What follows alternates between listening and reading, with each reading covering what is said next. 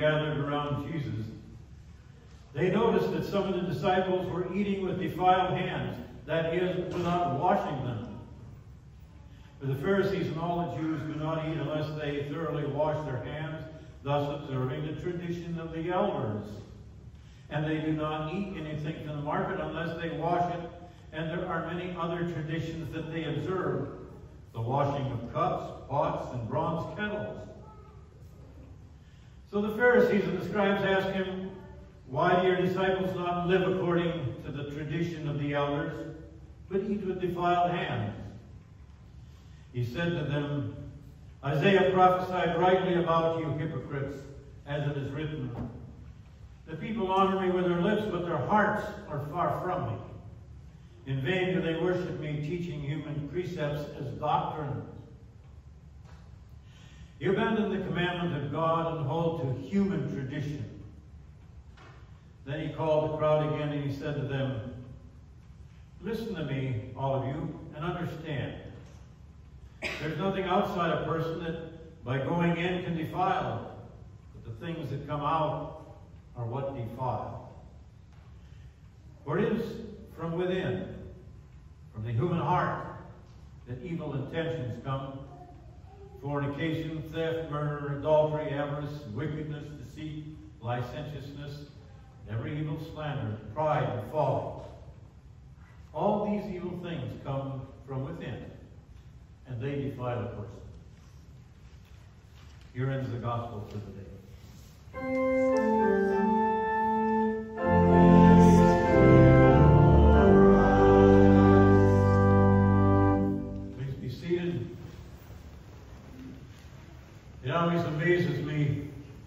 Somebody says that the Bible is so irrelevant, it was written for another day. And what we are dealing with today doesn't have anything in relation to the past. And I don't know why it is, but when I read the text on Monday for the following Sunday, it really doesn't take long before I see some correlation with something that we are dealing with very much in our own time and in our own community. It's simply easy to do because people don't change. Basically, all those important things in life seem not to change. I'm going to start a little metaphor today in terms of our sermon. Two years ago, when I had my annual physical, the doctor was done with it and he said, I think we're going to have to start dealing with your blood pressure. Your blood pressure is a little high. And I said, well, it's been high for the last 40 years. And he said, yeah, and that probably indicates more that we should take care of it now. And so he wrote out a prescription, and I went to the pharmacy and had the prescription filled and started taking these pills. What started happening is I started to get a rash across my chest. All kinds of redness and I know, pimples popping up. And so I decided the only thing that's changed lately is taking these pills. So I quit and they all went away. And then I started taking again and they came back. So I went to the doctor and I, uh, or I called him and I said, these pills, obviously there's something wrong with them or I'm having some kind of reaction that's negative to them. Uh, I'm breaking out in rash. And he said, oh yeah, that seems to be a common problem with that particular prescription. Well, I said it would have been kind of nice to know that beforehand. Uh, is there some reason that you prescribed this? And he said, yeah, I prescribed it because it's the lowest dose that we have. It's for just beginning, and it's the cheapest. And I said, with, my Medicare, I don't pay for anything anyway. Why does it matter? Why didn't you give me the good stuff from the beginning? So he did fill another prescription, which worked. Now, I think every one of you probably has a similar experience, and if you watch the ads on television, you know now that about 70% of the ads on television deal with something medical. Some kind of magical potion, some kind of magic drug. It cures you of whatever ailment you have. And so you look at that, and they tell you how much good it will do for that particular thing that is bothering you. And then they talk about the side effects, which they talk about rather rapidly, or just leave on the screen for just a little bit, because they are all overwhelming. And you got to say to yourself, why would I take this risk and take this one thing if it's going to bring 16 other problems? Something can have a positive effect, but it can have many, many different side effects. And sometimes that happens in the church. Today we're talking about tradition, at least that's what Jesus was talking about in the gospel lesson this morning. In the musical, this Broadway musical, Fiddler on the Roof, Tevye, head of the community, has a little monologue at the beginning. And he talks about how difficult it is to live under the czar's rule. And every once in a while, once in a while, the czars come in and uproot the community just to make them feel uncomfortable. And he says, but we keep our balance here. And how do we keep our balance? One word. Tradition. And he emphasized it over and over again. He says here in Anatavia, we have, we have a tradition for everything. How we eat, how we sleep, how we work. For instance, I wear a prayer shawl. And that shows my allegiance to God. By our traditions, by our traditions, we are able to know who we are and what God expects of us.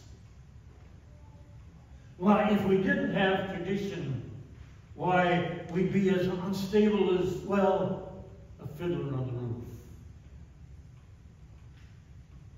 Traditions can be a very positive thing. And they certainly are in the church. And it would be nice if every one of the traditions that we have would tell us who we are and what God expects of us. And that's exactly what they should be doing. Jews, our Jesus did not come, he said, to destroy the law and the prophets. He came to fulfill them. But every once in a while, Jesus would do something that was not according to Jewish law, the book of Deuteronomy. Well, he touched lepers, which was forbidden by law. He healed on the Sabbath, and that was forbidden by law. You don't exercise any kind of power on a Sabbath. And Jesus would say, if you had a horse that fell in a pit, on Sunday, wouldn't you go and pull it out rather than wait until Monday to eat it, to take care of it? Sabbath was made for man, not man for the Sabbath. But traditions do have a very positive thing. We live in our traditions. We live in the tradition of the Christian church. We live in the tradition of the Reformation. And we hold them very dearly. And in many cases, they do tell us who we are and what God expects of us. But just like these medications that I talk about, they can be very positive for some and they can be very negative for others. Sometimes traditions have a negative side effect. There's a joke made about, and you've heard a lot of uh, variations of this joke. Well, how many people does it take? And one of the questions in this particular joke is how many how many uh, Christians does it take to change a light bulb? And the answer, of course, is supposed to give back is, well, that light bulb was given from one of the grandfathers of the church, and we don't change them. We hold fast traditions, even sometimes they don't make sense. I read an interesting story about a Catholic, young Catholic priest. Came to a parish where the past uh, priest had served for a number of years, and they were well stuck in what he did.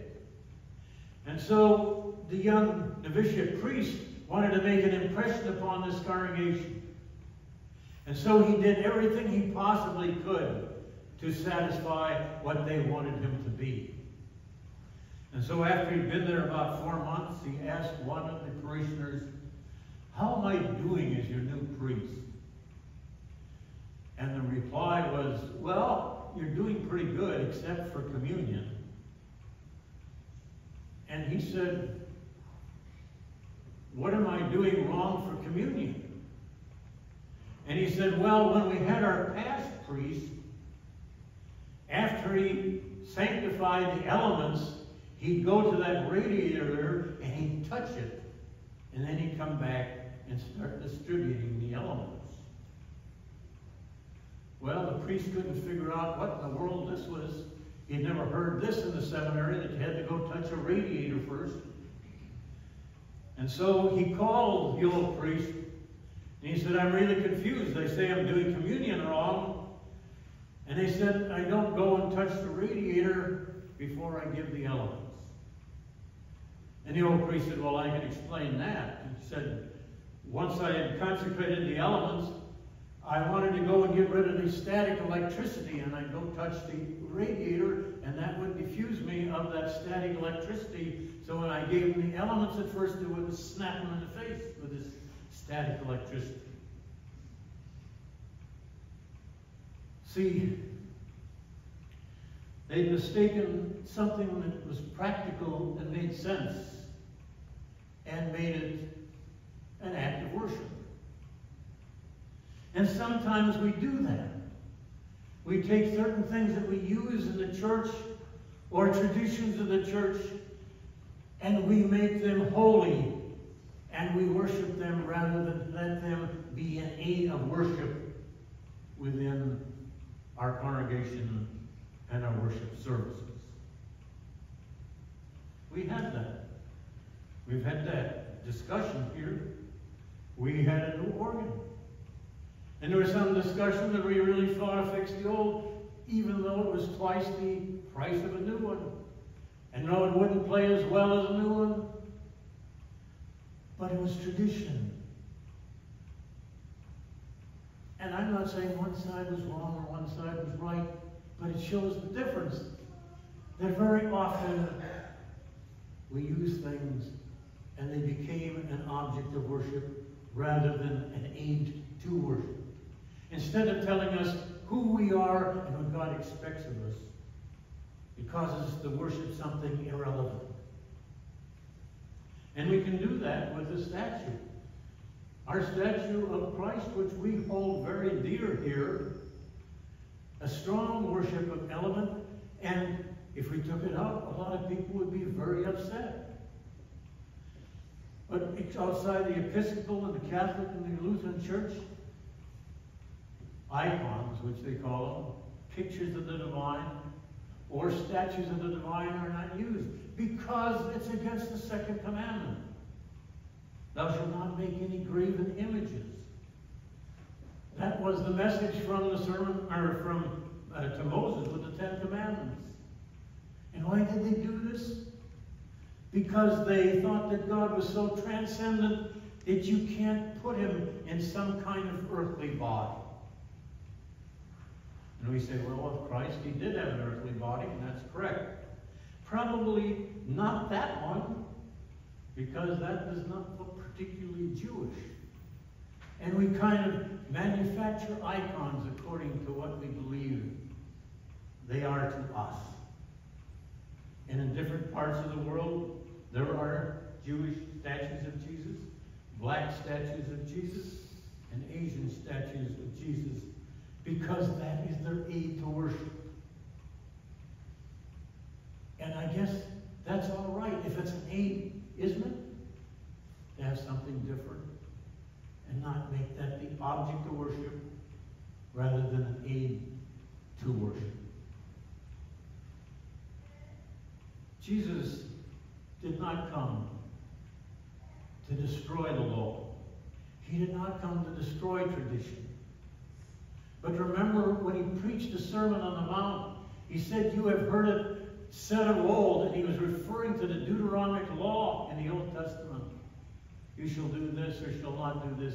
But I say unto you, and he expanded to explain it in a way that they could understand, that would teach them who they are and what God expected of them.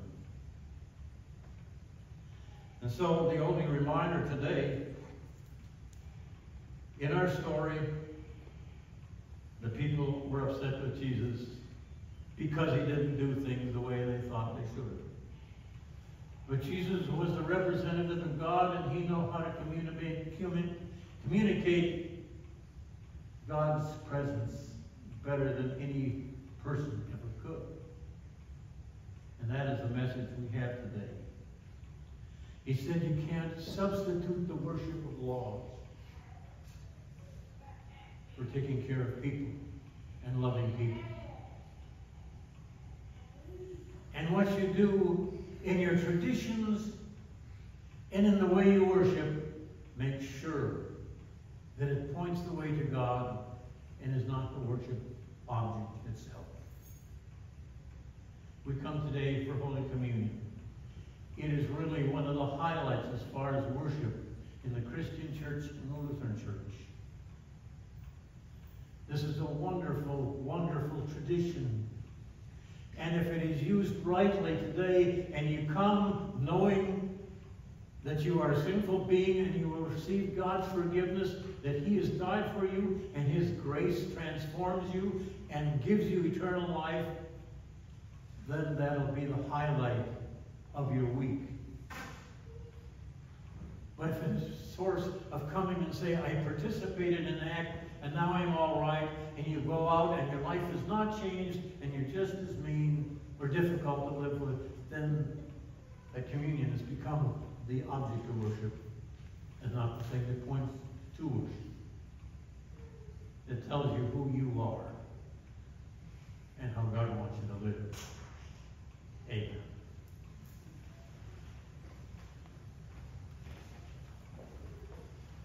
Sermon hymn, Oh that the Lord would guide my ways, 772 in the Red Book, 772.